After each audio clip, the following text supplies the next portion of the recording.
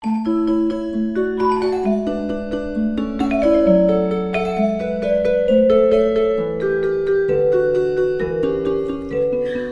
ba ninyo kung bakit laging nag-aaway ang aso at pusa? Malalaman natin sa kwentong Alamat ng Aso at Pusa. Nung araw ay mayroong magkapatid na ang pangalan ay Ador at Puring. Kahit saan ay palagi silang nag-aaway at nag-uunahan. Ayaw nilang magbigayan. Isang umaga, sabi ng nanay ni na Ador at Puring, Kakain na!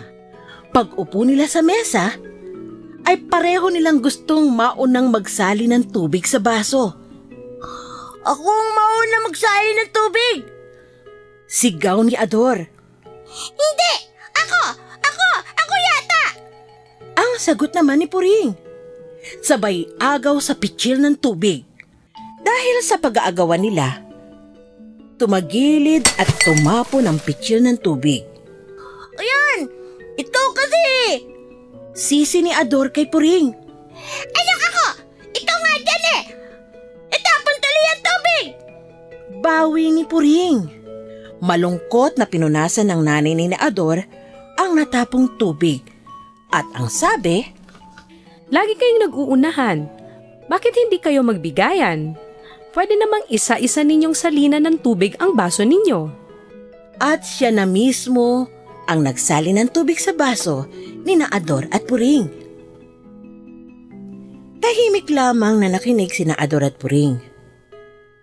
Ngunit, pag wala na ang ina nila, ay patuloy pa rin sila sa kanilang pag-aaway. Katulad ng minsang naglalaro sila sa duyan. Ako muna maglalaro sa tuyang to! Ang sabi ni Ador, Hindi pwede! sagot naman ni Puring. Ako ang nauna dito! Nag-agawan sila sa duyan. At dahil sa pag-uunahan nilang makaupo sa duyan, ay pareho silang nahulog at nasaktan. Aray ko! Aray ko! Sigaw ni Ador. Ikaw kasi! Nako! Ikaw nga yan eh! Sabi ni Puring na hawak-hawak ang nasaktang balakang. Nagmadaling pumunta ang nanay nilang nag-aalala. Nasaktan ba kayo? Tanong ng nanay. O ayan, di ba mas mabuti kung magbibigayan kayo? Sabi ng ina. Pwede namang yung isa munang sumakay sa duyan at pagkatapos, yung isa naman. Nagbigayan nga sina Ador at Puring. Si Puring muna ang sumakay sa duyan. Tapos, si Ador naman. Hanggang isang araw, may nakita silang isang pagkaganda-gandang kabayo na may puting pakpak. Oh! Ang gandang kabayo!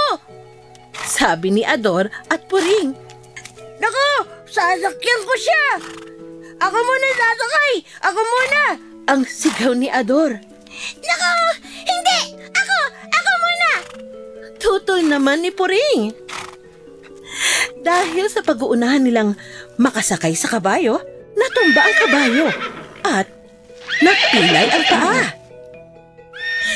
Nagulat sina Ador at Puring nang biglang nagbago ang anyo ng kabayo. Naging engkantada ito. Sabi ng engkantada, dahil sa hindi kayo marunong magbigayan, ang dapat sa inyo ay maghiwalay. Sabi ng engkantada, si Ador ay ginawang aso. Si Puring ay ginawa niyang pusa.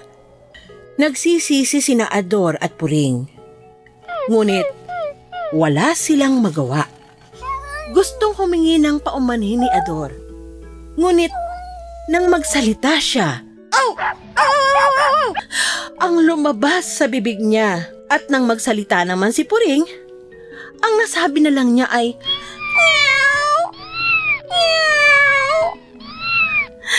At dyan nagtatapos ang kwento natin tungkol sa kung bakit laging nag-aaway ang aso at pusa.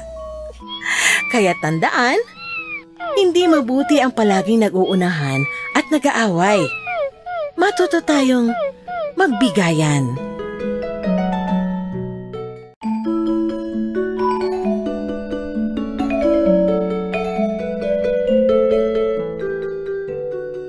Kumusta mga bata? Alam niyo ba kung ano ang bilang na ito? Ito ang bilang na anim. Marunong na ba kayong magbilang ng hanggang anim? Halika, bilangin natin ang mga bilog. Isa, dalawa, tatlo, apat, lima, anim. May kinalaman sa bilang na anim ang kwento ko ngayon. Ito ay tungkol sa anim na magkakaibigan. Isang umaga, nagkita-kita ang anim na magkakaibigan upang maglaro. Naglaro sila ng habulan. Habol! Hindi mo ako matataya! Sigaw ng limang kaibigan sa isang taya. Naglaro sila ng taguan. Tagu-taguan, maliwanag ang buwan, pagbilang kong sampu, nakatago na kayo, sabi ng isang taya. Habang nagtatago ang lima pa niyang kaibigan. Naglaro sila ng tumbang preso. Isa ang tayang nagbabantay sa lata habang ang lima ay nagbabato ng kanilang tsinelas. Masayang masaya ang anim na magkakaibigan. Naglaro sila hanggang sumapit ang hapon. Naglibot sila sa sapa. Naglunoy sila sa ilog. Nagugutom na ako, sabi ng isa. Uwi na tayo. Sumang-ayon naman ang lima. Pero sandali, anim tayo nagpunta dito ah. Bilangin muna natin ang lahat para makatiyak na nandito pa rin tayong lahat at walang naligaw o nawala, sabi ng isa pang kaibigan. At pinilang nga ng unang kaibigan ang kanyang mga kasama. Isa, dalawa, tatlo, apat, lima. Hala! May nawawalang isa. Hindi niya nabilang ang sarili niya. Kinabahan ang anim na magkakaibigan. Baka nalunod ang isa sa kanila. Binilang ng ikalawang kaibigan ang kanyang mga kasama. Isa, dalawa, tatlo, apat, lima.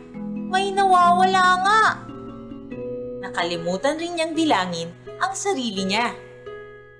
At dahil kabadong-kabado ang anim na magkakaibigan, bawat isa sa kanila ay nagbilang. Pero laging kulang ang bilang dahil hindi na isasama ang sarili nang bumibilang. Isa, dalawa, tatlo, apat, lima. Sabay-sabay nilang sinabi nang hindi binibilang ang sarili. Isa sa atin ang nalunod sa ilog. At sabay-sabay rin umiyak ang anim na magkakaibigan. Sa lakas ng iyak ng magkakaibigan, isang matanda ang lumapit sa kanila. Bakit kayo umiiyak? Tanong ng matanda. Anim po kasi kaming naglaro kanina, pero isa sa amin ang nawawala. Ngayon, lima na lang kaming natitira. Umiti ang matanda at sinabing, Bibilangin ko kayo isa-isa. At binilang ng matanda ang anim na magkakaibigan. Isa, dalawa, tatlo, apat, lima, anim. Kumpleto ang anim na magkakaibigan. Salamat po at nakita niyo ang nawawala naming kasama. Ang sabi ng barkadang anim naman talaga. Pasipol-sipol ang anim na magkakaibigan. At magkakaakbay silang umuwi. Kumpletong kumpleto. Hindi kulang ng isa. Anim talaga. At siya nagtatapos ang kwentong ang anim na magkakaibigan. Hanggang sa muli! Paalam!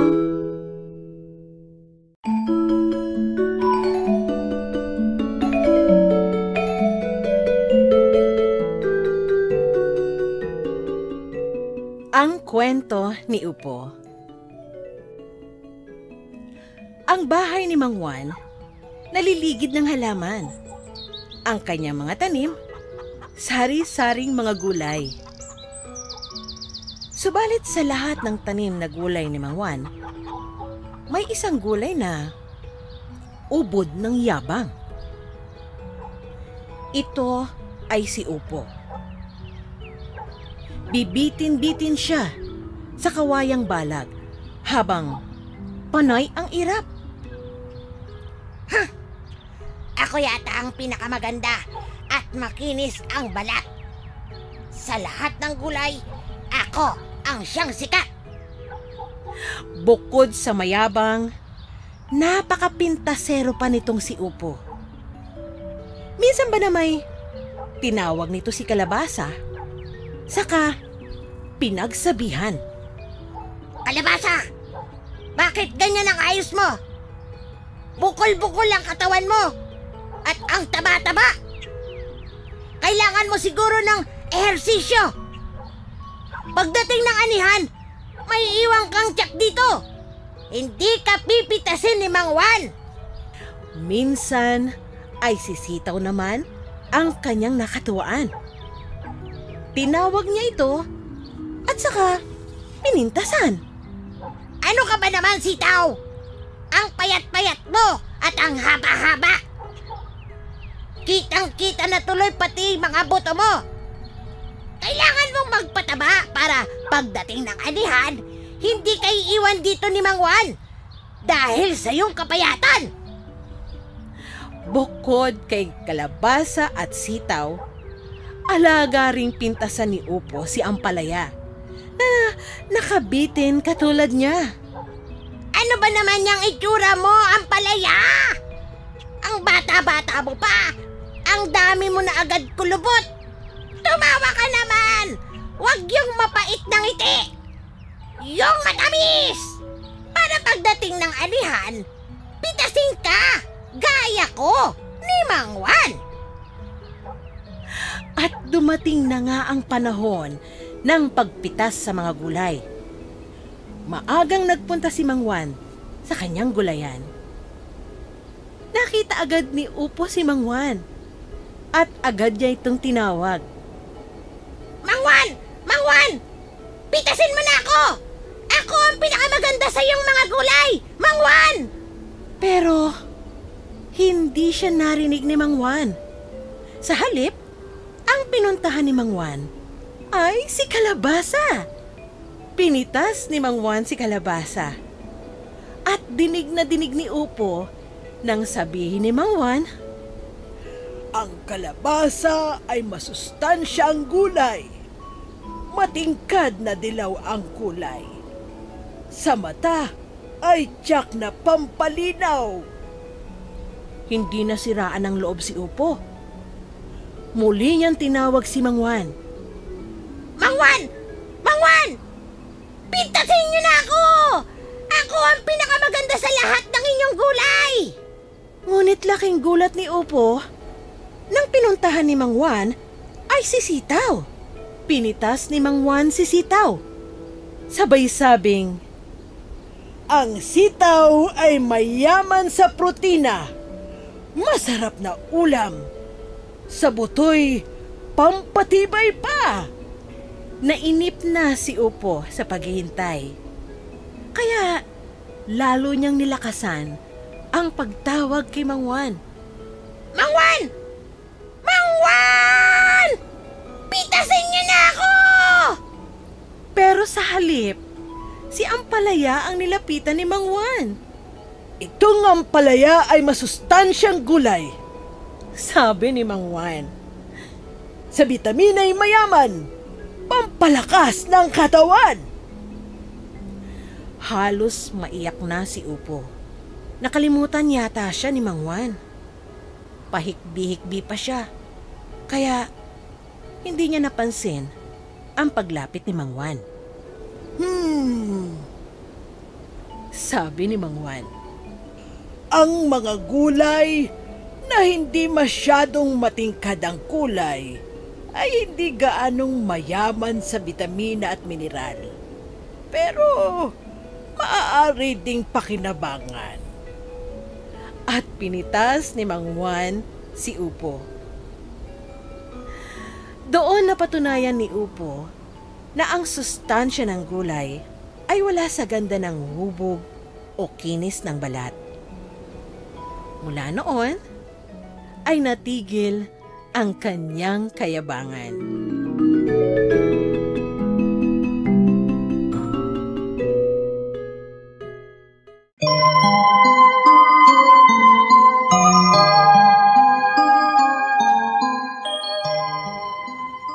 Magandang araw. Ang kwento ko sa inyo ay tungkol sa magkaibigang langgam at kalapati. Matagal nang magkaibigan sina langgam at kalapati. Madalas silang maglaro ng bahay-bahayan. Kunwari, si langgam ang nanay at si kalapati naman ang tatay. Masaya ang magkaibigan kapag magkasama sila. Magkasama rin silang namamasyal sa bukid.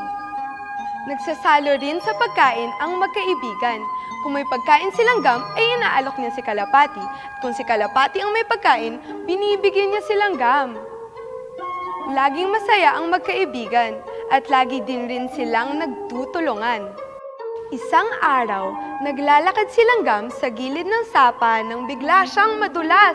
Nahulog sa tubig si Langgam. Saklolo! Saklolo! Sigaw ng maliit na langgam. Tulungan niyo ako! Malulunod ako! Mabuti na lamang at lumilipad noon si Kalapati. Narinig niya ang sigaw ni Langgam. Nagmamadaling pumitas ng dahon si Kalapati. Kailangang iligtas ko ang kaibigan ko, sabi ni Kalapati. Agad na inihulog ni Kalapati sa tubig ang dahon. Nalaglag sa tubig ang dahong pinitas ni Kalapati. Agad na sumakay sa dahon si Langgam. Tuwang-tuwa si Kalapati na naligtas ang kaibigan niyang si Langgam. Salamat kaibigang Kalapati, maraming salamat. Ang sabi ni Langgam na tuwang-tuwa rin. Lalong naging matalik na magkaibigan ang dalawa. Mas madalas silang naglaro at mas naging masaya silang magkasama. Ngunit isang araw ay may dumating na batang may tirador. Titiradorin niya si Kalapati. Mabuti na lang at nakita siya ni Langgam. Mabilis na lumapit si Langgam sa batang may tirador. At kinagat ni Langgam ang paa ng bata. Napasigaw ang bata, Aray! Aray! At narinig ito ni Kalapati. Mabilis na lumipad palayo si Kalapati. Nakaligtas siya sa tiyak na kamatayan. Salamat sa pagliligtas mo sa akin, kaibigang langgam. Sabi ni Kalapati, walang anuman yon. Sabi ni Langgam. Talagang ang magkaibigan, laging nagtutulungan. Paalam!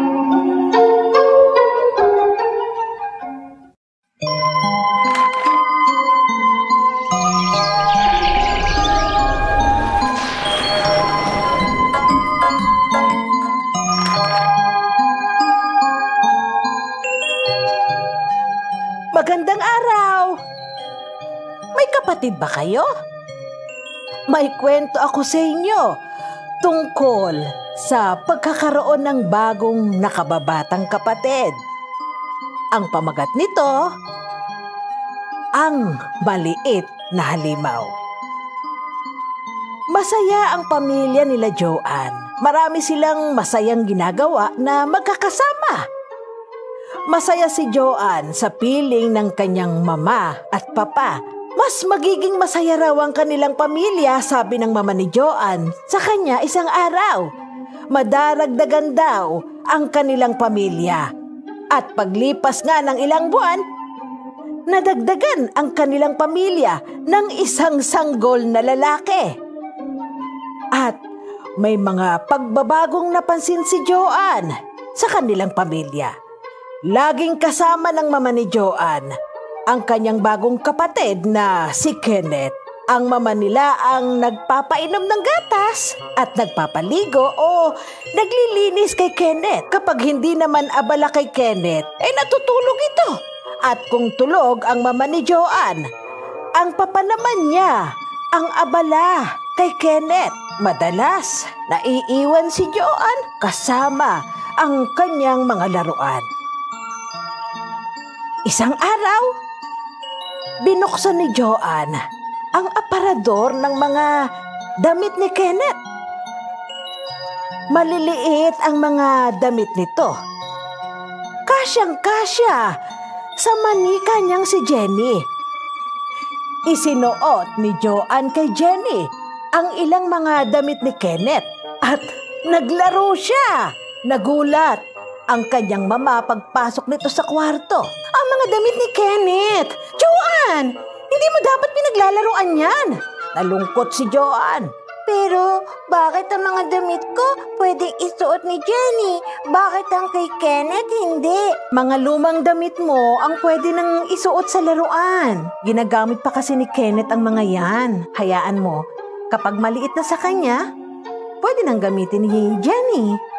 Pagkatapos naman paliguan ng mama at papa ni Joanne si Kenneth, nakita nilang nakakalat ang mga gamit sa pampaligo ni Kenneth. Pinupulbusan ni Joanne ang kanyang manika at nililinisan. Nagalit ang mama at papa ni Joanne sa kalat. Pinaligpit ito sa kanya. Pinagsabihan si Joanne ng kanyang mga magulang na bawal paglaruan ang mga gamit ni Kenneth. Nalungkot si Joanne at nagalit. Lagi na lang siyang pinagbabawalan ng mga magulang niya simula nang dumating si Kenneth. Naisip niya tuloy na parang isang maliit na halimaw si Kenneth. Isang araw, naiwan si Joanne at Kenneth sa kwarto. Nagising mula sa pagkakatulog si Kenneth at ito ay umiyak. Nung umpisa, hindi pinapansin ni Joanne si Kenneth. Pero lumakas ang mga iyak nito. Hindi rin dumarating ang mama at papa niya. Kaya sinubukan niyang patahanin ito. Pagdating ng mama at papa ni Joanne, hindi na umiiyak si Kenneth. Napahinto ni Joanne ang pag-iyak ng kanyang kapatid. Natuwa ang mama at papa ni Joanne. Nung araw na yon, tinulungan ni Joanne ang mama niya na mag-alaga kay Kenneth. Binasahan naman siya ng papa niya ng kwento bago matulog. At naging masaya na muli si Joanne sa piling ng kanyang mama, papa, at kapatid. Ay.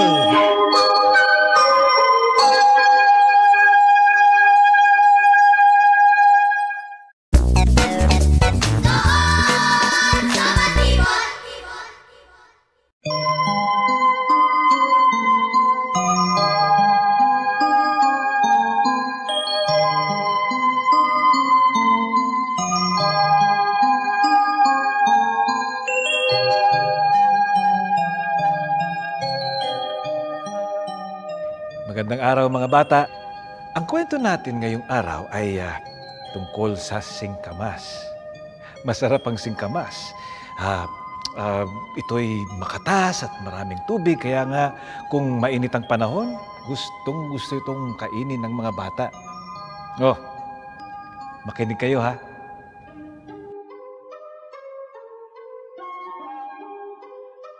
Sa isang nayon ay may magsasakang nagtanim ng napakalaking singkamas. Malapit na kasi ang engrandeng pista at may paligsahan ng gulay at prutas. Ngayon ang magsasakay may higanteng problema. Masyadong malaki ang tanim na singkamas. Hindi niya mabunot, hindi niya mahila ang malaking, malaking, malaking singkamas. Hinawakan niya ang dahon at saka hinila. Ngunit ayaw bumigay ng malaking singkamas. Mm, napakalaki. Mm, ang bigat talaga. Hindi niya mabunot ang malaking singkamas. Kaya naman itong magsasaka ay humingi ng tulong sa kanyang asawa. Hinila ng asawa ang magsasaka at hila ng magsasaka ang malaking singkamas. Mm, napakalaki. Mm, ang bigat talaga. Hindi nila mabunot ang malaking singkamas. Kaya naman itong magsasaka, pati ang anak, pinatulong na. Hinila ng anak, hinila ng asawa, hinila ng magsasaka ang malaking singkamas. Mm, napakalaki, mm, ang bigat talaga. Hindi nila mabunot ang malaking singkamas. Noon din, noon din ay tinawag nila ang lolo, ang lola, mga tiyo at tiya. Ang asawa at anak, ang lolo't lola, ang tiyo tiya at ang magsasaka ay hinila ang singkamas. Napakalaki. ang bigat talaga. Ang hirap bunutin ng malaking singkamas. Pagod na pagod na ang buong pamilya, kaya pinatulong din pati mga aso at pusa. Nagtulong-tulong ang pamilya at kanilang alaga upang mahila ang napakalaking singkamas. Mm, ar, ar, ar, ar, napakalaki! Ang bigat talaga. Oh, ang hirap mabunot ng malaking singkamas.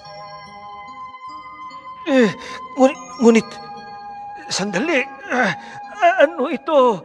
Konting hila pa at, at sa wakas, sa wakas! Sa wakas! Nabunot din ng magsasaka, pamilya at alaga ang malaking, malaking, malaking singkamas.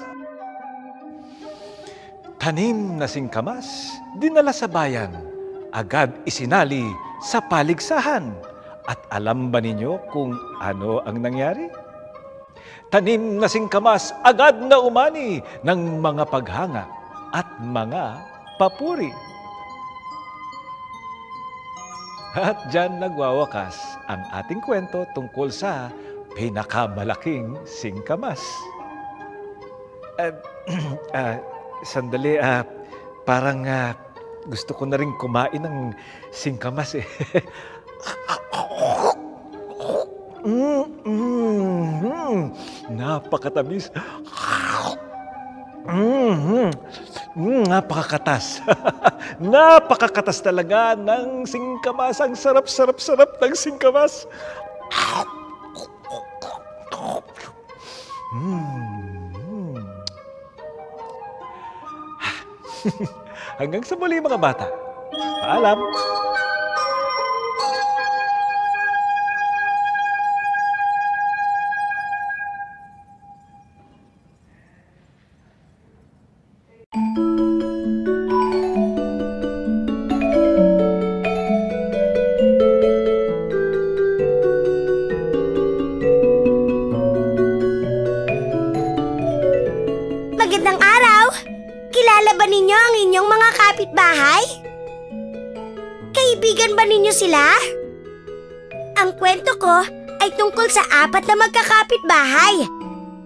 Sina Ginoong Kambing, Ginoong Baka, Ginang Manok, at Ginoong Aso. Si Ginoong Kambing ay may punong dalandan. Hitik na hitik ito sa bunga. Isang araw, dumalo kay Ginoong Kambing ang kapitbahay niyang si Ginoong Baka. Sabi ni Ginoong Baka, Moo! Moo! Ang daming bunga ng punong dalandan mo. Pahingi naman ng konti. Patikim ng matamis na bunga. Moo! Moo! Ma! Anong kapalit? Ma! Tanong ni Ginoong Kambing. Moo! Bibigyan kita ng gatas. Sabi ni Ginoong Baka. Hmm. Nag-isip si Ginoong Kambing. Ma! Ayoko! Marami pa akong gatas! Ma! Kaya malungkot na umalis si Ginoong Baka. Dumalaw din kay Ginoong Kambing ang kapitbahay niyang si Ginang Manok. Sabi ni Ginang Manok, Pak, pak, pak, pak, pak, pak, pak, pak, pak, pak, pak, pak. Ang daming bunga ng punong dalandan mo. Pahingi naman ng kaunti. Patikim ng matamis na bunga. Bak, pak, pak, pak, pak, pak, pak, pak, pak. Ma! Ma! Ano namang nang kapalit? Ma! Tanong ni Ginoong Kambing. Bak, bak, bak, bak, bak, bak. Bibigyan kita ng itlog. Bak, bak, bak, bak, bak, bak, bak. Sabi ni Ginang Manok. Bak, bak, bak, bak, bak. Gusto ko makatikim ng dalanda ng aking mga sisiw. Bak, bak, bak, bak, bak, bak. Ma! Hmm. Nag-isip si Ginoong Kambing. Ma! Ayoko! Marami pa akong itlog. Me! Kaya malungkot na umuwi si Ginang Manok. Isa pang kapitbahay ni Ginoong Kambing ang napadaan. Si Ginoong Aso. Ruff! Ruff! Ruff! Ang punong dalandan mo'y matamis at masarap. Pahingi ng bunga. Ruff! Ruff! Ruff! Ruff! Nangatog si Ginoong Kambing. Matulis kasi ang pangil ni Ginoong Aso. Sabi ni Ginoong Kambing, Me! Me! Magbalik na lang kayo mamaya. Ipipitas ko kayo ng dalandan. Me! Me! Ruff! Ruff! Ruff! Ruff! Babalikan kita mamayang hapon. Kapag niloko mo ko, kakainin kita, ginoong kambing. Natakot si ginoong kambing. Me! Me! Ano kaya ang gagawin ko? Me! Me! Nagpunta si Ginong Kambing sa mga kapitbahay niyang sina Ginoong Baka at Ginang Manok. Me! Me! Tulungan niyo ako! Tulungan niyo ako! Babalik mamayang hapon si Ginoong Aso at kakainin niya ang mga dalandan. Me! Me! Nagtulong-tulong ang tatlo magkakapit bahay. Tinaasan nila ang bakod. Tinibayan nila ito ng gusto para hindi makapasok si Ginoong Aso. Saka sila nagtago. At dumating nga si Ginoong Aso.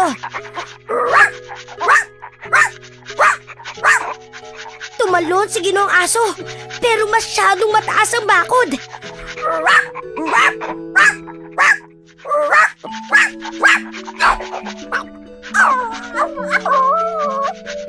Binunggo niya ng binunggo ang bakod pero ayaw nitong matumba.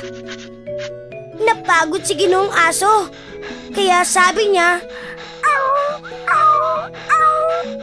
Ayoko na ng dalandan mo. Sigurado akong maasim naman yan eh.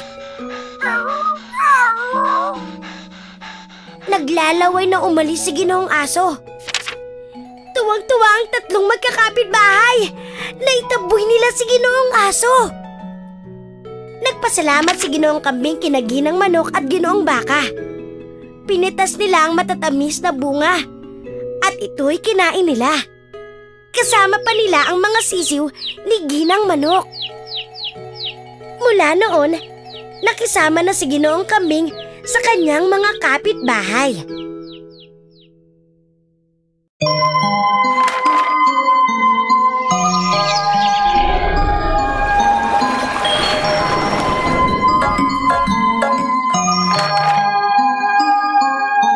Magandang umaga mga bata! Mahilig ba kayo sa tinapay? Alam niyo ba kung paano ito ginagawa? Ang kwento natin ngayon umaga ay tungkol sa paggawa ng tinapay at pakikipagtulungan. Ang pamagat ng ating kwento ay ang tinapay ni Carlitang Kambing. Isang araw, naisipan ni Carlitang Kambing na gumawa ng tinapay. Tamang-tama nga naman dahil panahon na rin naman ng pag-ani ng trigo sa bukid. Nakasalubong ni Carlita ang kanyang kaibigan na si Bentong Baboy nung papunta siya sa palayan. Saan ka pupunta, Carlita? Doon sa palayan, mag-aani ako ng trigo, Bentong. Gagawa kasi ako ng tinapay. Gusto mo ba akong tulungan? Tinapay? Aba, mahilig ako dyan. Tulong sa pag-ani. Ah, sige, uh, simulan mo na, Carlita. Ah, hahabol na lang ako mamaya, ha? Nagsimula at nakatapos ng mag-ani si Carlita nang mag-isa. Nasaan na kaya si Bento? Sabi niya, hahabol siya ngunit hindi na siya nagpakita. Siguro, susunod yun mamaya. Kailangan ko nang dalhin itong trigo sa kiskisan upang gawing arena.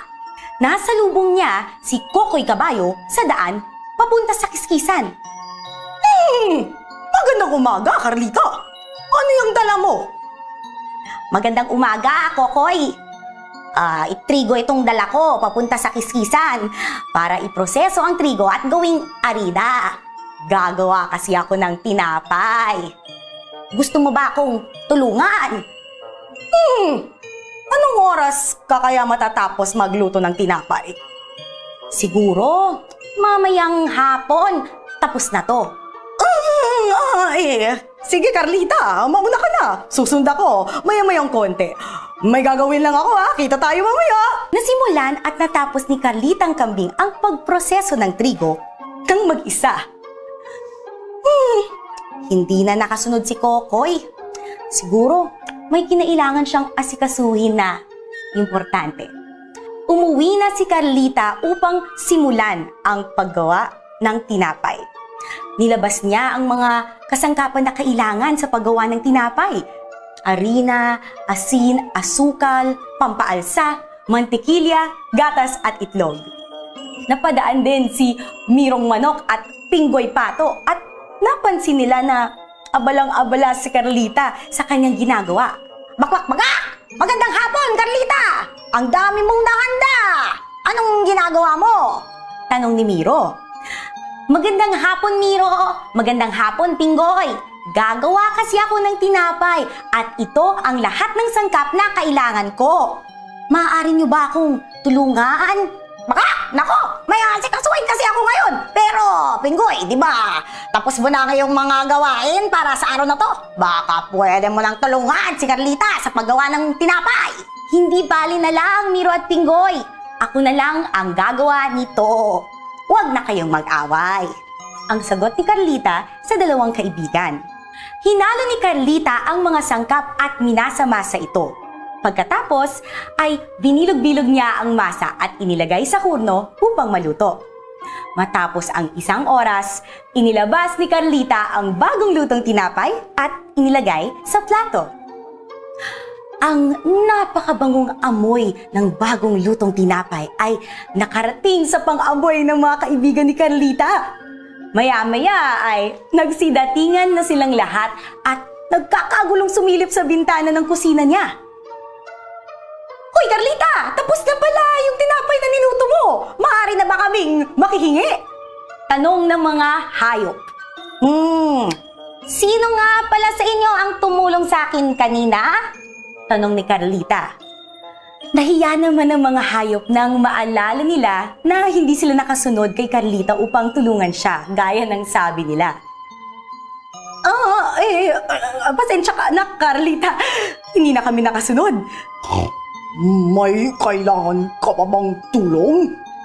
Dahan-dahan na tanong ni Bentong Baboy sa kaibigan. Hmm, sino sa inyo ang pwedeng tumulong sa akin na magligpit ng kusina bago kainin ang tinapay? Tanong ni Carlita. Ako, ako, ako! Kami na ang gagawa, Carlita! Umupo ka na lang dyan! Ang sagot ng mga kaibigan niyang sabik na sabik bumawi sa kanya. Niligpit ni Bentong Baboy, Kokoy Kabayo, Mirong Manok at Pinggoy Pato ang kalat sa kusina ni Carlita. Sabay-sabay kumain ang mga magkakaibigan. Sila rin ang naghiwa ng tinapay at naghanda ng mga palaman. Pagkatapos nilang kumain, sila na rin ang naghuhugas at nagligpit ng mga pinggan, kutsara at tinidor na ginamit. Masaya si Carlita dahil sarap na sarap ang kanyang mga kaibigan sa kanyang nilutong tinapay. At dahil sa hulian, naisipan din nilang tumulong sa kanya. At dyan nagtatapos ang ating munting kwento. Nagustuhan niyo ba?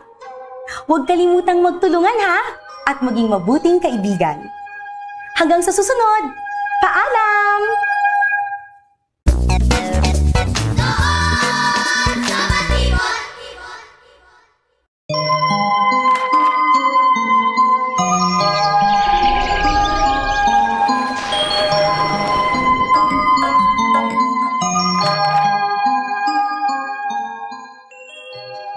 Kumusta kayo mga bata?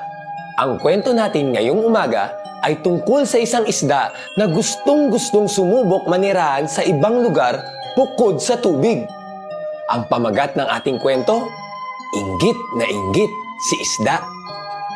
Nakasimangot na paikot-ikot si isda sa lawa. Pakiramdam niya'y ang liit-liit at ang simple-simple masyado ng buhay niya sa tubig ibig niyang malaman kung saan at paano naninirahan ang ibang mga hayop. Napansin ni Isda na may dumapo na ibon malapit sa gilid ng lawa. Itinaas niya ang kanyang ulo sa tubig at kinausap ito. Magandang umaga, kaibigang ibon. Sabi ni Isda, saan ka nakatira? Anong mayroon sa tirahan mo?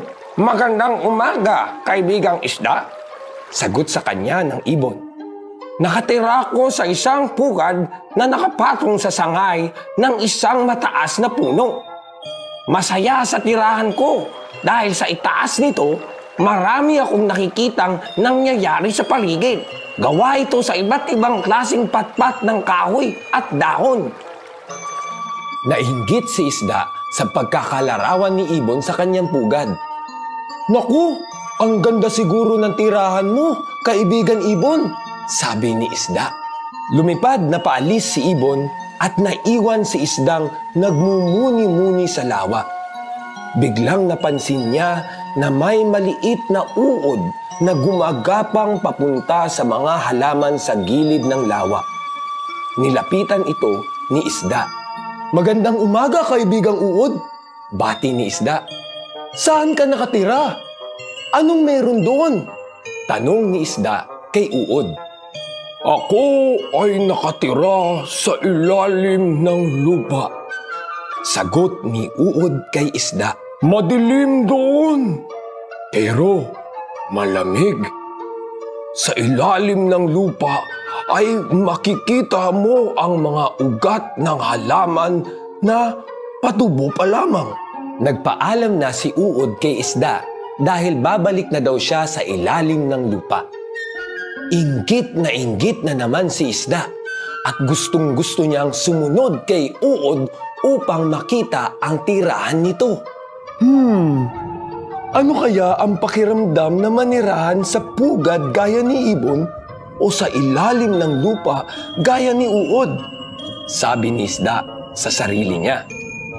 Natigil ang kanyang pagmumuni-muni nang marinig niya ang yabag na mga paa ng kanyang kaibigang si Leon.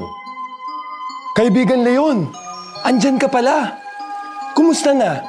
Tanong ni Isda kay Leon. Mabuti naman ako, Isda.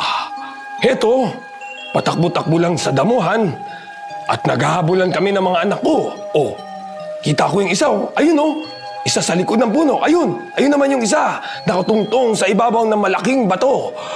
Teka, habulin ko muna sila. Masayang sagot ni Leon kay Isda bago siya tumakbo paalis. Halos hindi na mapakali si Isda matapos nilang mag-usap ni Leon. Desidido na siyang makita ang mga lugar kung saan nakatira ang kanyang mga kaibigan pumunta sa kabilang dulo ng lawa si isda at lumangoy na mabilis na mabilis. Sabay tinulak ang sarili pataas upang makatalon palabas ng lawa. Dumaong si isda sa damuhan. Hindi siya makahinga, hindi siya makatayo o makalakad, na natili siyang nakatagilid habang kumakawag-kawag. Saklolo! Sa saklolo! Ang sigaw ng natatarantang isda. Narinig siya ni Naibon, Uod at Leon at dahan-dahan siyang tinulak pabalik sa tubig. Okay sarap ng pakiramdam ni Isda na makabalik siya sa kanyang tirahan. Nakahinga siya ng maayos at hindi niya inisip na subukang lumabas sa lawa dahil alam na niya na ligtas siya doon. At dyan nagtatapos ang kwento natin. Hanggang sa muli, paalam!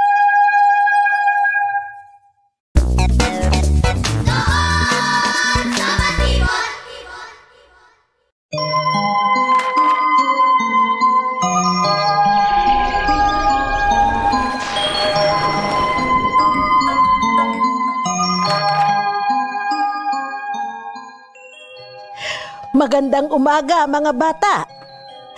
Ang kwento ko sa inyo ngayong araw ay tungkol sa isang hayop na tinatawag na eleyon.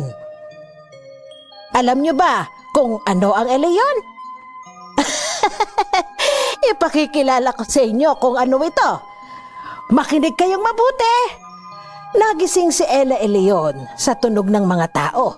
Palibhas ay likas na malaki ang tenga naririnig niya ito na palapit sa kanyang pinagpapahingahan. Nilingon niya ang paligid. Nasaan si nanay? Alala niya. Hinanap niya ito pero nang malapit na ang mga tao, tumakbo siya sa takot. Huminto si Ella Eleon sa isang ilog. Ah! Hindi na tayo pwedeng bumalik sa ating tahanan! Sabi ng isang tatay na ibon sa kanyang asawa at mga anak. Pinuputol na ng mga tao ang mga puno! Ang sabi ng mga unggoy. Ah! Magpapatayo ng mga bahay at kalsada ang mga tao sa bahagi ng ating gubat! Pagtatapos ng ibon. Tweet, tweet, tweet, tweet! Saan tayo pupunta? Tanong ng isang batang ibon. Kailangan natin magpakalayo-layo! Desisyon ng kanilang nanay. Naalala ni Eleon ang kanyang nanay at bumalik siya sa kanyang pinagpapahingahan.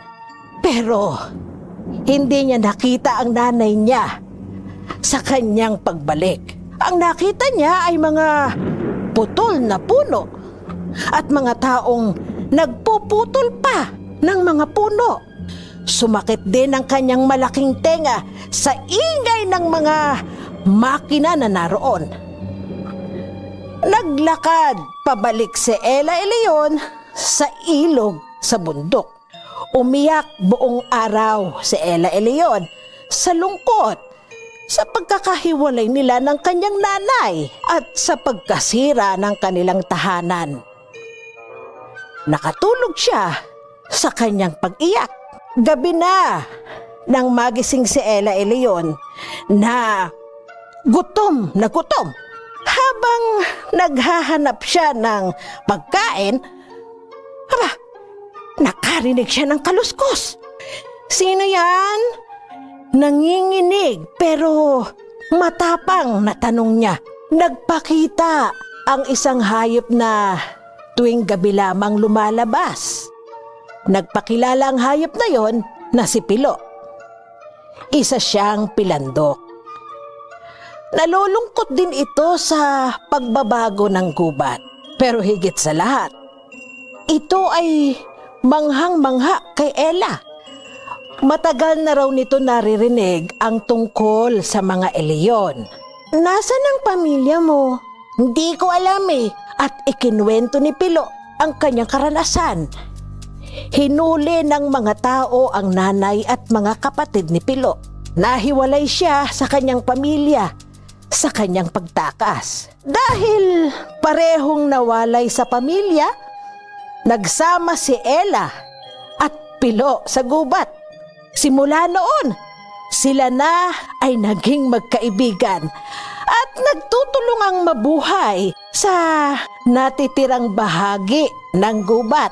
Sa umaga ay binabantayan ni Ella ang natutulog na si Pilandok At ginigising ito kung may maririnig na kapahamakan. Sa gabi naman, si Pilo ang magbabantay kay Ella at maghahanap ng pagkain nila. at diyan, nagtatapos ang aking kwento tungkol sa isang eleyon. Mga bata, eh sana eh nagustuhan nyo ito, no? Hanggang sa muli! Ay, nako.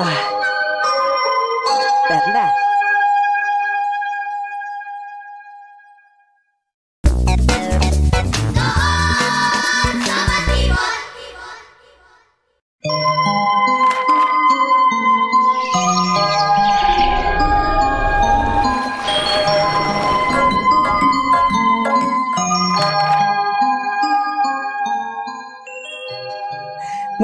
Araw mga bata. Nakapunta na ba kayo sa palengke?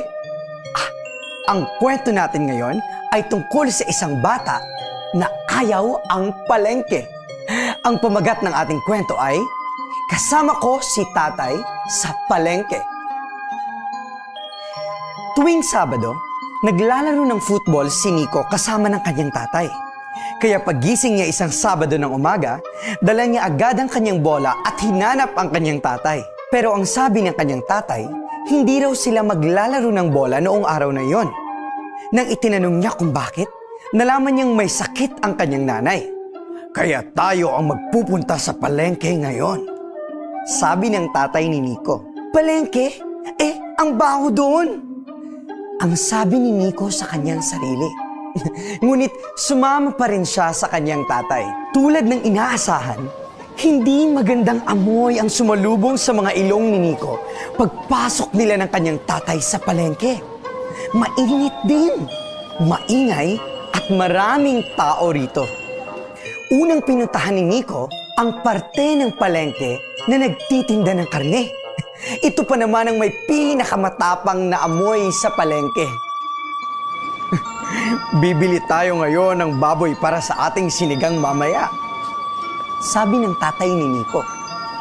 Pagkasabi ng tatay niya ng sinigang, naalala ni Nico ang lutong sinigang ng kanyang magulang.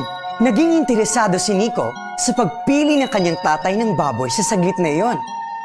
Pumili ang tatay ni Nico ng malarosas na karning baboy. Inamoy-amoy ng tatay ni Nico ang baboy at inamoy-amoy din ni Nico ang karne. Pagkatapos makapili ng buto-buto ng baboy at mga taba, nagpunta sila Nico sa gulayan. Namili ang tatay niya ng kangkong. Nakisabay si Nico sa kanyang tatay upang mamili ng mga magagandang gulay para sa kanilang sinigang. Hinawakan nila ang magagaspang na tali ng okra at pinili ang okrang may pinakamalutong na dulo. Itinaas nila ang mga tali ng sitaw upang makita ng mabuti. Pinili nila ang pinakamataba at berdeng sitaw. Inusisa nila ang mga basang tali ng kangkong. Naghanap sila ng pinakamaraming malapad na berdeng dahon.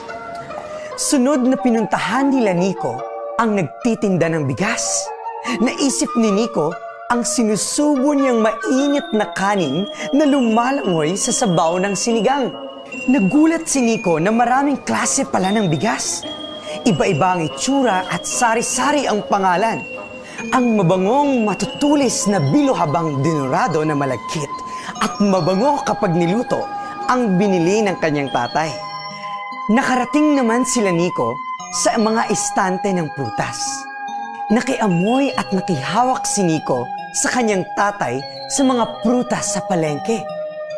Bumili sila ng isang kilo ng makinis at mabangong dilaw na mangga.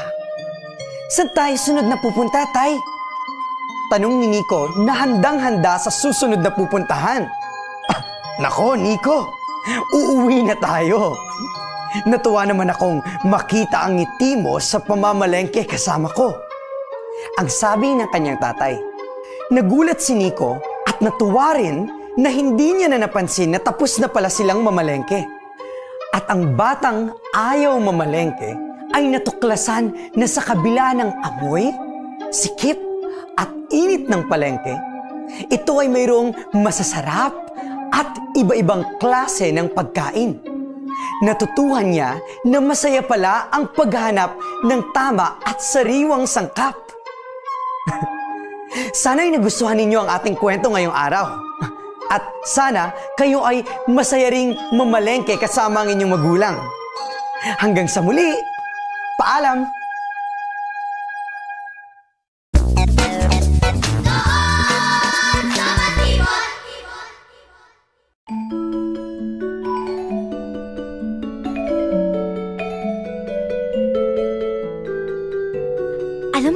Bakit tumitilaok ang manok sa umaga?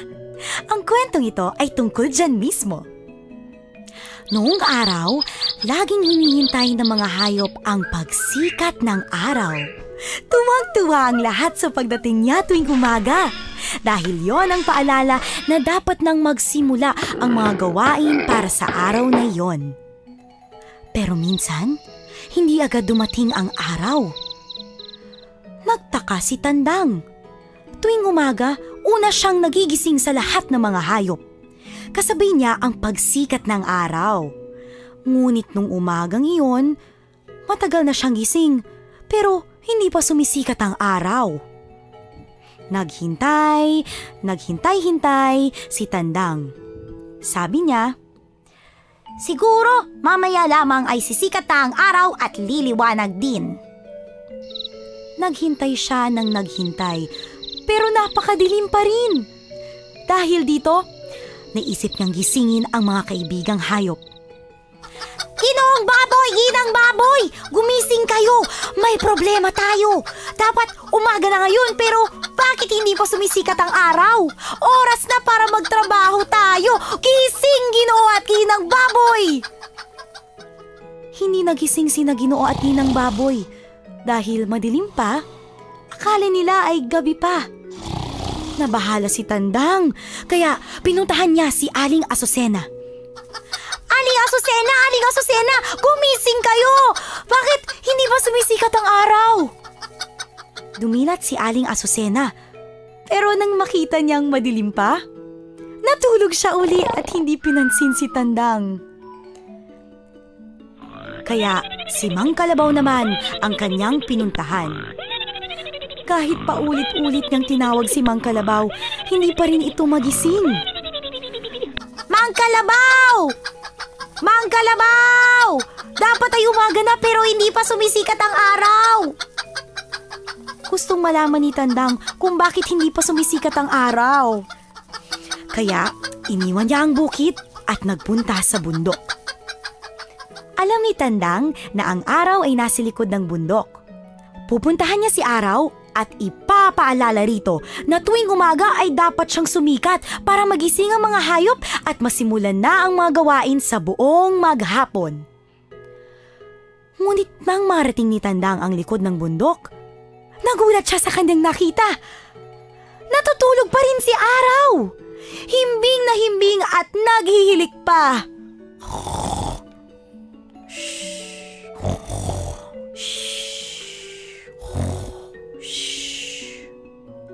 Tumilaok ng malakas si Tandang para magising ang araw. Titilaok! Titilaok! Titilaok! At nagising naman. Titilaok! Titilaok! Titilaok! Naku, Tandang! Mabuti at kinising mo ako. Sabi ni Araw. Napasarap ang tulog ko. Kailangan mo nang sumikat, Araw! Sabi ni Tandang. Kapag hindi ka sumikat, hindi rin babangon ang mga kasama kong hayop sa bukid. Maraming gawain ang hindi mo umpisahan kung tulog lang tayo ng tulog. Naisip ni Araw na hindi nga pala siya dapat mahuli sa pagsikat tuwing umaga. Kaya hiniling niya kay Tandang na maging kanyang tagagising. Wala kang iba gagawin kundi tumilaok ng tumilaok hanggang magising ako para sumikat sa umaga. At ganoon nga ang ginawa ni Tandang tuwing umaga. Tumilaok siya ng malakas para gisingin ang araw. At yan ang dahilan kung bakit laging tumitilaok si Tandang tuwing umaga.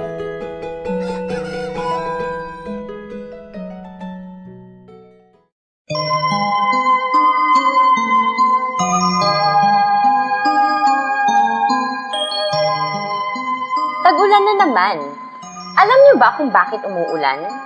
Ang kwento natin ngayon ay isang alamat ng Pilipinas. Ang pamagat ng kwento ay kung bakit umuulan. Makinig kayo ha! Noong unang panahon, wala pang mundo. Wala pang araw at buwan.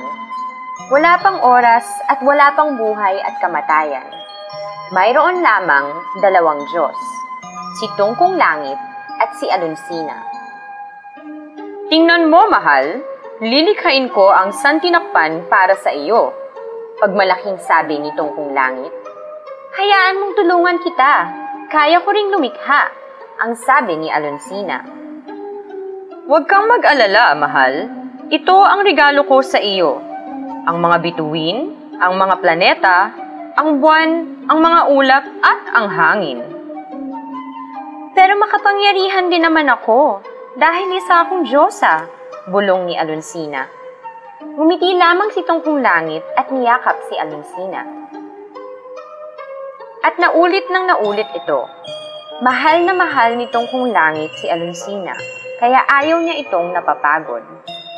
Ayaw niyang gumamit ng kahit isang daliri si Alonsina upang lumikha ng kahit isang bagay. Ngunit sawa na si Alonsina sa ganoong klaseng buhay. Naramdaman niyang parang wala siyang silbi bilang Diyosa. Gusto niyang lumikha. Huwag kang mag-alala, sabi ni Tungkong Langit sa kanyang iniibig. Wawakasan ko ang iyong pagkabagot. Lilikha ako ng oras. At nagsimula nga ang oras. Kasamang nalikha ng oras ang alaala. At naalala ni Alonsina ang panahong wala pang laman ang kalawakan. At nang hindi siya nakalikha ng kahit ano. Gusto kong lumikha, sabi ni Alonsina. Isang araw, patagong sinundan ni Alonsina si Tungkong Langit. Nang makita siya ni Tungkong Langit, agad siyang tinanong, Bakit ka narito? Bakit mo ko sinusundan? Gusto kong lumikha. Diyos din ako tulad mo, sabi ni Alonsina. Nababagot ka ba uli, mahal? Huwag kang mag-alala. Lilikhain ko ang kulog at kidlat para sa'yo. Lumiwanag at lumagundong sa buong kalangitan dahil sa kulog at kidlat. Nagulat ang buong santinakpan. Nagtago ang araw, ang buwan, at ang bituin. Kahit ang hangin ay tumigil sa pag-ihip. Pero hindi natinag si Alonsina. Nakatayo lang siya doon, nanunood, at nakakunot ang noo. Sawa na akong panuurin ka lang lumikha ng planeta, araw at bituin. Sawa na akong narito lang, nakaupo, walang ginagawa. Kaya kong lumikha, isa rin akong Diyosa. Pero hindi siya pinakinggan nitong kung langit. Umalis itong kung langit at lumikha pa ng maraming bagay sa kalawakan. Akala niya ay nagpapapansin lamang si Alonsina. Hindi na nakayanan ni Alonsina ang lungkot ng kanyang puso, kaya lumaya siya sa kanilang tirahan. Pag uwi nitong kung langit, gulat na gulat siya nang makitang walang apoy sa kanilang kalan, walang pagkain sa kanilang mesa, at wala na rin ang kanyang Alonsina. Alonsina! Alonsina! Hinanap ng hinanap nitong kung langit ang kanyang asawa, ngunit hindi niya ito matagpuan. Lumipas ang mahabang panahon at nasawa rin sa paglikha si Tungkong Langit. Araw-araw, hinahanap ni Tungkong Langit ang kanyang iniibig, ngunit wala siyang nakita. Isang araw, sumilip si Tungkong Langit mula sa ilang ulap. Hinawi niya ang mga ulap at sa kanyang gulat, naroon ang kanyang asawang si Alonsina. Anong ginagawa mo dyan, mahal? Matagal na kitang hinahanap. Tumingala si Alonsina. Kitang-kita sa kanyang muka ang kaligayahang matagal nang hinahangad nitong kung langit. Nilikha ko ang daigdig. Ang daigdig na may puno at halaman, isda at mga ibon. Nilikha ko ang mga bundok, ang langit, ang karagatan. Nilikha ko ang buhay dahil isa rin akong Diyos. At nagpatuloy si Alonsina lumikha. Nasaktan si Tongkong Langit. Ang kaligayahang nakita niya sa mukha ng kanyang asawa ay hindi dahil sa pagkakita sa kanya. Hindi na bumalik si Alonsina sa kalangitan. Paminsan-minsan, sinusubok siyang pabalikin ni Tungkong Langit sa pamamagitan ng paglikha ng kulog at kidlat. Ngunit hindi na babalik muli si Alonsina. Mula noon, upang mabisita ni Tungkong Langit ang kanyang dating asawa, kailangan niyang mag-anyong ulan. Ulan na didinig sa daigdig na nilikha ng kanyang inibig si Alonsina. At dyan nagtatapos ang ating kwentong kung bakit umuulan. Hanggang sa susunod na kwento, paalam!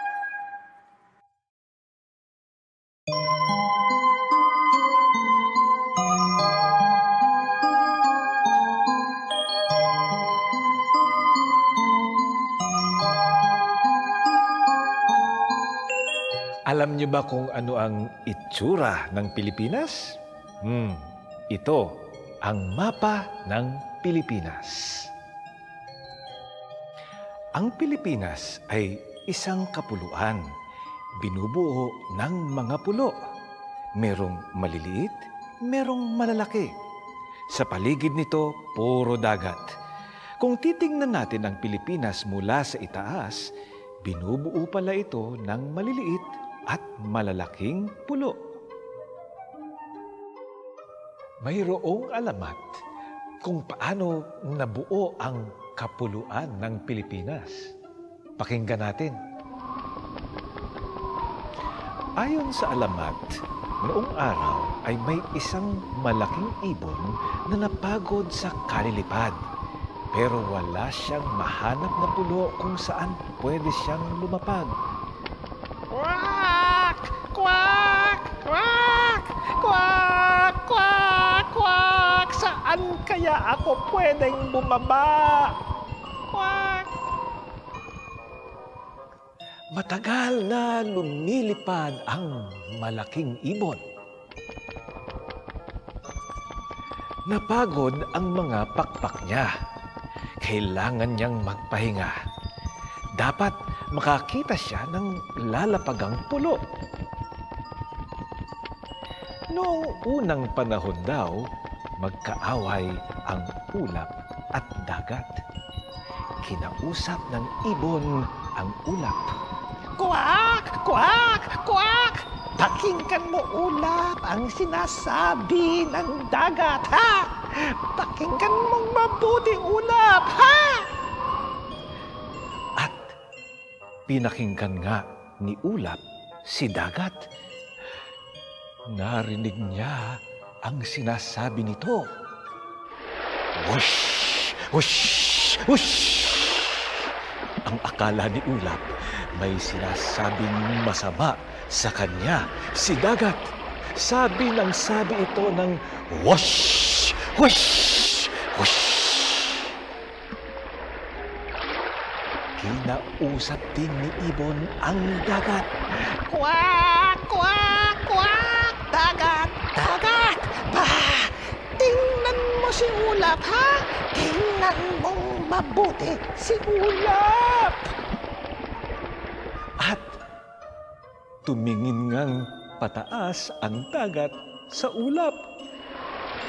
Nakita ng dagat na nakasimangot ito. Kaya lalong nilakasan ng dagat ang kanyang wash, wash, wash. Akala ni Ulap ay iniinis siya ni dagat kaya't naggalit si Ulap. Binato niya ng malalaking bato si dagat. Brum, brum, brum. Galit na galit si Ulap at naghagis pa siya ng ilang kilat. Aray! Aray! Aray! Nasaktan si Dagat sa mga batong inihagis ni Ulap, kaya gumanti siya. Wush! Wush! Wush! Pinilit na abutin ni Dagat si Ulap at ang mga batong binagsak ni Ulap ay dinurog niya ng dinurog. Wush! Wush! Wush! matagal bago natigil ang pag-aaway ni dagat at ulap. Umakyat ng umakyat si ulap para hindi siya maabot ni dagat. Biro nyo, ang mga batong itinapo ni ulap kay dagat ay unti-unting nagkaroon ng mga tanim. Tinubuan ito ng mga puno. Alam ba ninyo kung ano ang nangyari sa malaking ibon? Patuloy pa rin siyang lumilipad at naghahanap ng pulo na pwedeng babaan. Kwak! Kwak! Kwak! Saan kaya ako lalapag? Hanggang isang araw, sa wakas ay may nakita siyang mga pulong malalaki at maliliit. Kwak! Kwak! Kwak! Ay, ganda naman ng mga pulong ito. Kwak! Kwak! Kwak! Dito! Dito ako lalapag! At doon nga, sa isa sa magagandang pulong ito, lumapag ang malaking ibon. Alam ba ninyo kung ano ang tawag ngayon sa magandang kapuluang yon? ang kapuluang yon ay walang iba kundi ang Pilipinas.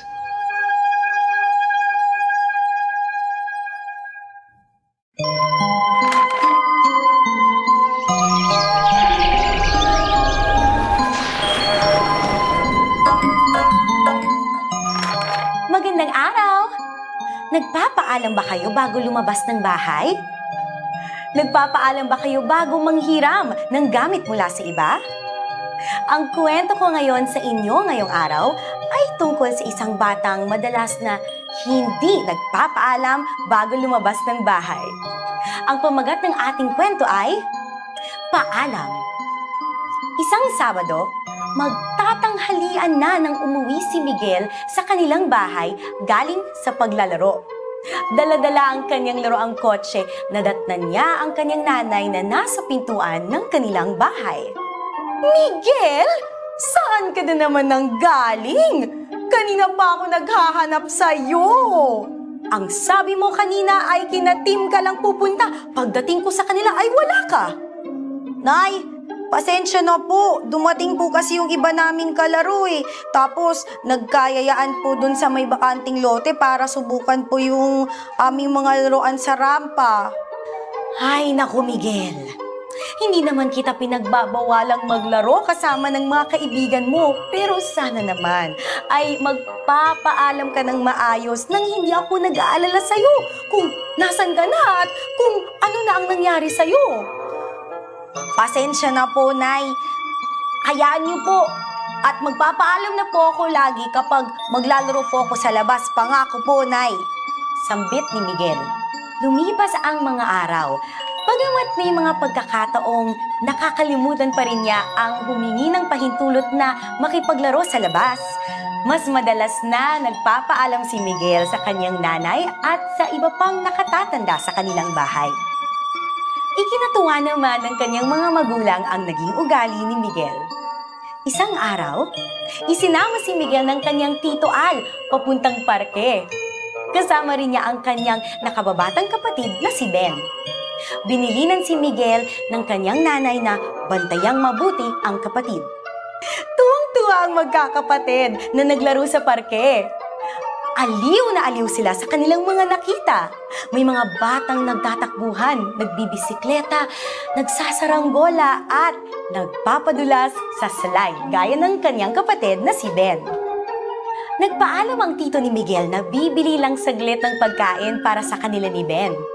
Habang nakikipaglaro siya kay Ben, napansin ni Miguel ang grupo ng mga batang kasing tanda niya na naglalaro ng kotse-kotsehan. Ito ang una niyang pagkakataon na makakita ng coaching de control. Laking tuwa niya sa kanyang nasaksihan. Hanggang sa mapansin niyang wala na si Ben sa kanyang paningin. Kinabahan ng husto si Miguel. Hinahanap niya ang kanyang kapatid, ngunit hindi niya makita ito sa palaruan. Takot na takot siya at hindi niya mapaliwanag ang kanyang sobrang pag-aalala. Naiiyak na siya nang biglang, Kuya Miguel! Sigaw ni Ben. Nakita niya ang kanyang kapatid na kasama ang kanyang tito Al habang kumakain ng sorbetes. Nalaman niya sa kanyang tito na sinalubong pala ni Ben ang kanilang tito nang makita niyang itong may daladalang sorbetes. Kaya bigla itong nawala sa palaruan. Ikaw, Ben, ha? Sa susunod, magpapaalam ka ng maayos. Akala ko, nawala ka na. Akala ko kung ano na nangyari sa'yo. Mm, sorry na, kuya. Sagot ni Ben. Tama, Ben. Dapat nagpapaalam ka kay Kuya Miguel mo bago ka umalis sa tabi niya. Wika naman ng kanilang tito. O kuya, heto na ang sorbetes para di ka na umagalit. Sambit ni Ben. Siya, siya. Umuwi na nga tayo dahil baka maabutan pa tayo ng ulan. Pagdating sa bahay, naikwento ni Miguel ang nangyari. Pinagsabihan ng kanilang nanay si Ben na huwag na itong uulitin. Nang maiwan si Miguel at ang kanyang nanay, sinabi ni Miguel, Nay, ayoko po ang pakiramdam na nag-aalala ng gusto. Ganun pala yun. Ganun pala yung pakiramdam. Niyakap ng mahigpit ni Aling Maria ang kanyang anak habang pinapatahan ito. Ang mahalaga anak, ligtas kayo ng kapatid mo. Sana nagustuhan ninyo ang ating kwento ngayong araw. Ugaliin nating ang magpaalam, lalo na't kung aalis o lalabas ng bahay para hindi rin mag-alala ang inyong mga kasama sa bahay. Paalam! Hanggang sa susunod nating kwento!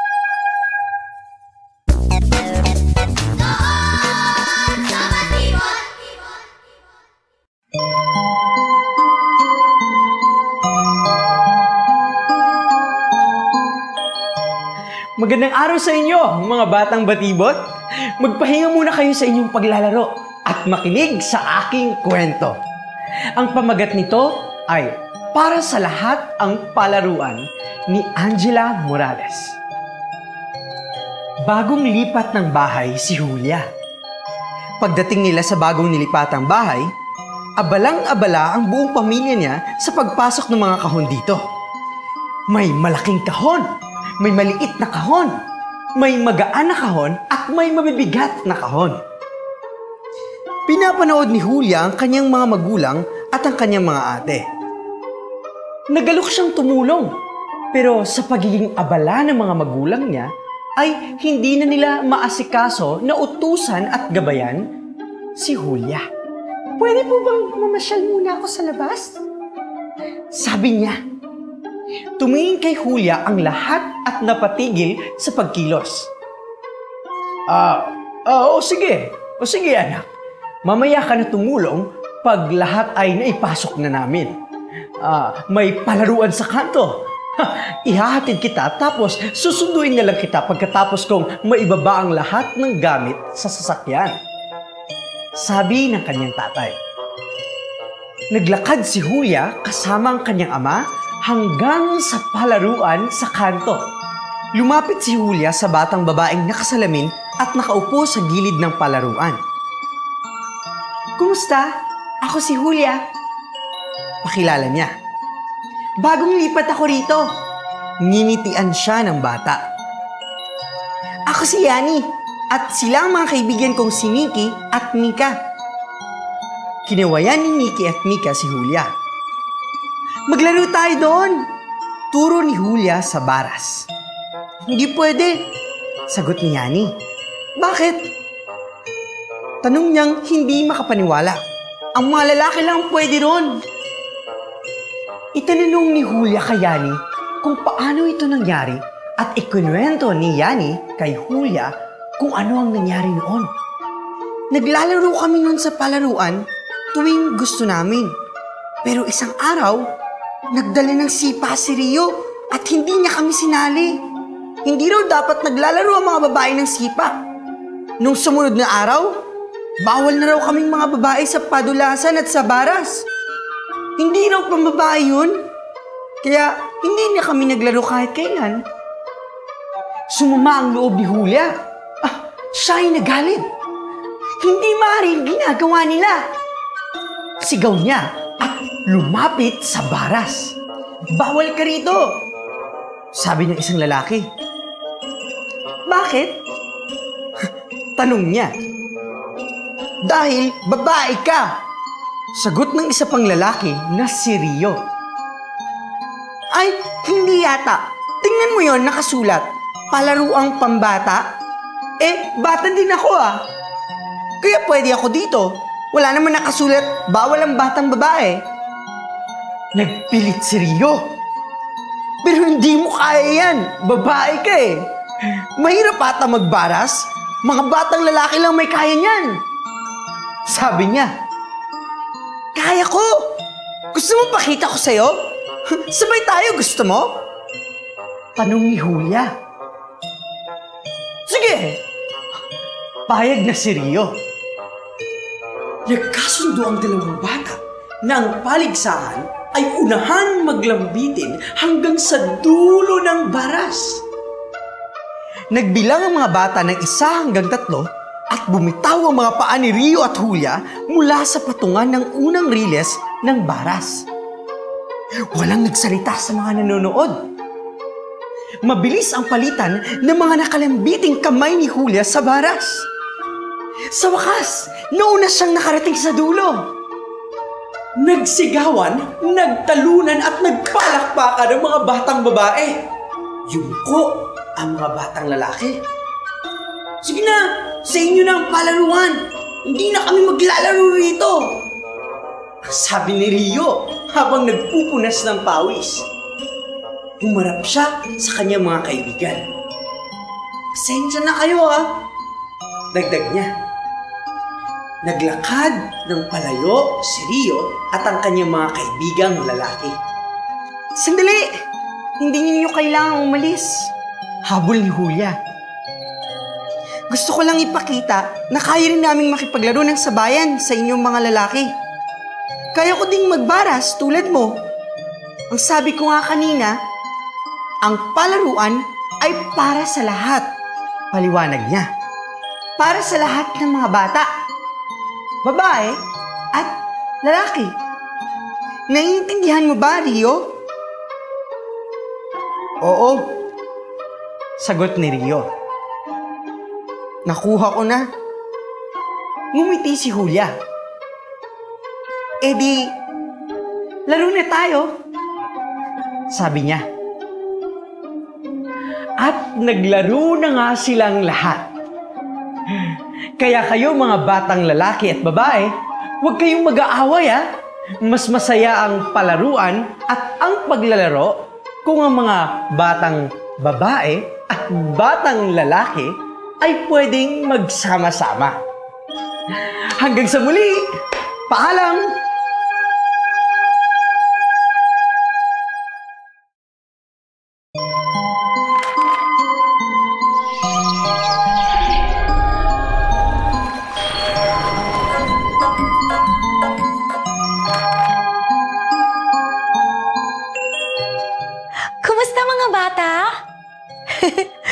Ang kwento ko ngayon sa inyo ay tungkol kay Sasha Sumusobra. Bakit kaya siya sumusobra? Halika at alamin natin. Laging pinangangaralan ng nanay niya si Sasha. Oh, kumain ka ng prutas at gulay, Sasha, para lumakas ang iyong resistensya. Titigil sandali si Sasha sa paglalaro at kakain ng konti. Pero matapos ang ilang subo, babalik na naman ito sa paglalaro. Kailangan pang pilitin ng nanay si Sasha para kumain ng mas maigi. Pero pagdating sa chichirya at candy, ganadong ganado si Sasha. Tuwing gabi naman, hindi agad natutulog si Sasha. Kahit isinara na ng nanay niya ang ilaw, lihim itong bubuksan ni Sasha para makapaglaro. Kaya kadalasan, antok na antok siya sa umaga. dumating ang araw na kailangan ng regular na pagpapatingin sa doktor. Tamad na tamad na nagbihis si Sasha. Nasa labas na sila ng kanilang bahay at naglalakad sa kalsada nang biglang bumuhos ang malakas na ulan. Basang-basa si Sasha at ang kanyang nanay. Akala ni Sasha ay ligtas na siya sa pagpunta sa doktor. Nang bigla siyang humatching. Isa, dalawa, tatlong hatching. Dahil mahina na ang resistensya ni Sasha, gawa ng kakulangan sa wastong oras ng pagtulog at kakulangan sa masustansyang pagkain, madali siyang hinapitan ng sakit. Oh, Sasha! Halika at magtuyo ka muna bago ka lalong magkasakit! Sabi ng nanay ni Sasha. Nang nakapagtuyo na si Sasha at ang kanyang nanay, sinabihan niya ulit ang kanyang munting kuting. O Sasha, kailangan nating pangalagaan ang ating katawan para hindi tayo kaagad dapuan ng sakit. Importante na kumakain tayo ng tama, natutulog sa tamang oras at nagiging malinis sa katawan at kapaligiran huwag tayong maging sobrang pabaya sa ating katawan. Biglang tumigil ang ulan. Sabi ng nanay ni Sasha sa kanya, O ayan, talagang kailangan nating magpunta sa doktor ngayon dahil mukhang magkakasakit ka. Magdala na lang tayo ng payong at panlamig. At pumunta ang mag-ina sa doktor. Ilang araw ring hindi nakapaglaro si Sasha dahil sa sama ng pakiramdam. Parating nakabantay ang nanay ni Sasha sa kanya. Pinapakain ng lugaw at prutas, pinupunasan at pinapaliguan sa maligamgam na tubig at kinikwentuhan. Pinapanood rin niya ito habang natutulog. Pinayuhan rin siya ng doktor na uminom ng gamot at magpahinga. Mula noon, hindi na kinalimutan ni Sasha ang pangaral ng kanyang nanay. Mas masustansya na ang kanyang kinakain. Natutulog na rin siya sa tamang oras tuwing gabi. At naging mas malinis na siya sa kanyang katawan at kapaligiran. Kaya mga bata, alagaan natin ang ating katawan ha! Hanggang sa muli! Paalam!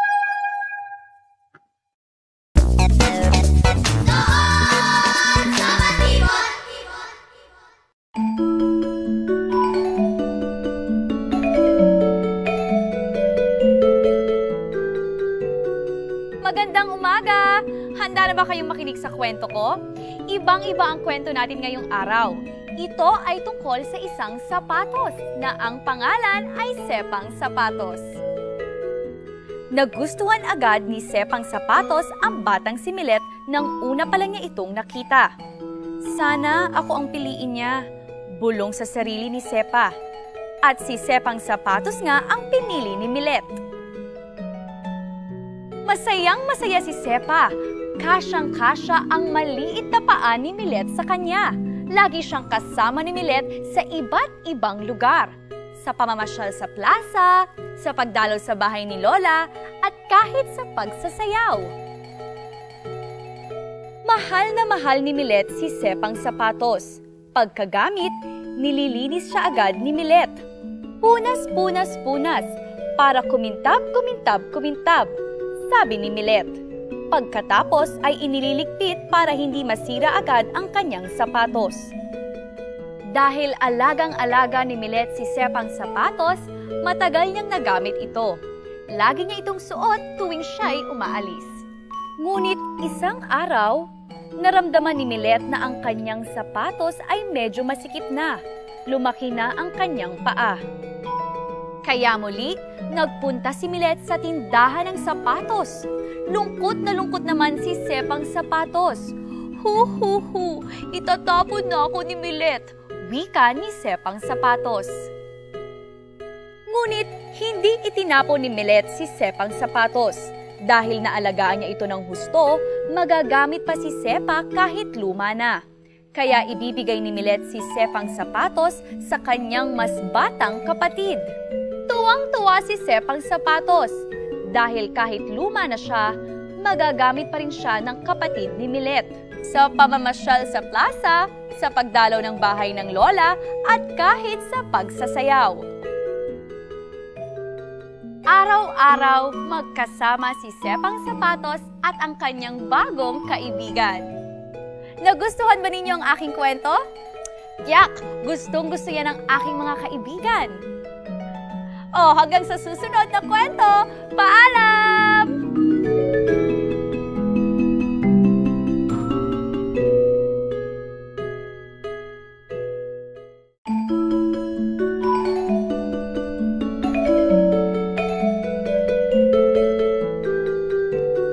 Magandang araw! Alam ba ninyo kung bakit kailangan nating magtrabaho upang makakuha ng mga kailangan natin? Ang kwento natin ngayong araw ay isang alamat tungkol sa kung bakit nagtatrabaho ang mga tao.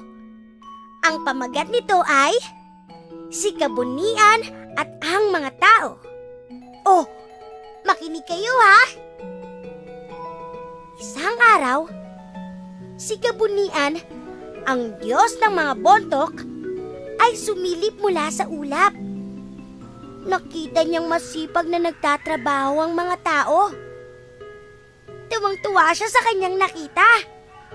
Kaya naisipan niyang bigyan ng gandipala ang mga magsasaka. Napakasipag magtrabaho ng mga tao. Ang sabi ni Kabunian, karapat dapat silang gantipalaan. Pumalakpak si Kabunian at sa isang iglap, biglang sumulpot ang isang malaking punong namumunga ng iba't ibang pagkain. Namumunga ito ng tinapay, ng sako-sakong bigas, ng isda, ng gatas. Narito ang gandipala ko sa inyo, tao, dahil napakasipag niyong magtanim. Ngayon, hindi na kayo gaanong mapapagod sa pagtatrabaho. Tuwang-tuwa ang mga tao. Lahat ng pangangailangan nila ay nasa may hiwagang puno na. Kailangan na lang nilang pumitas at meron na silang mga pagkain. Ngunit, dahil napakadali nang makakuha ng pagkain, hindi na nagtatrabaho ang mga tao. Kahit pagpitas ng mga bunga, hindi na nila ginagawa. Babagsak din ang mga yan! Sabi nila, walang gustong kumilos o magtrabaho. Wala ka ring maririnig kundi Ngort! Ngort! At kahit ang pag-aalaga sa paligid at sa kanilang sarili, hindi na nila ginagawa. Madalas pang pagmula ng pag-aaway ang karumihan ng paligid. Maglinis naman kayo! Sigaw ng isang grupo. Bakit kami? Kayo na lang! Sagot ng isa pang grupo. At dahil pare-pareho silang tamad magtrabaho, nanatili pa ring madumi ang paligid. Nang muling sumilip si Kabunian sa mga ulap, nagulat siya sa kanyang nakita. Naging napakatatamad ng mga tao. Nalimutan na ninyo ang mga halaman sa bukid. Ginawa pa niyong basurahan ng mundo. Dahil sa inyong katamaran at kapabayaan, ay babawiin ko ang mga binigay ko sa inyo. Pumalakpak si Kabunian at sa isang iglap, lumindol at bumuka ang lupa. Nilamo ng lupa ang kakaibang punong namumunga ng pagkain. Takot na takot ang mga tao. Nawala na ang may puno. At dahil dito, natutong magtrabaho ulit ang mga tao upang magkaroon sila ng makakain. Sumipag ulit ang mga tao. Nagtanim ulit sila at nangaso. Inalagaan ulit nila ang kanilang paligid. Natuwa rin si Kabunian at nagmuni. Sapat na palang gantipala ang kakayahan nilang magtrabaho. Wika ni Kabunian sa kanyang sarili. Mula noon, kailangan magsikap ng tao upang makuha ang kanyang mga kailangan. At yan ang kwento nating pinamagatang, si Kabunian at ang mga tao. Hanggang sa susunod na linggo, paalam!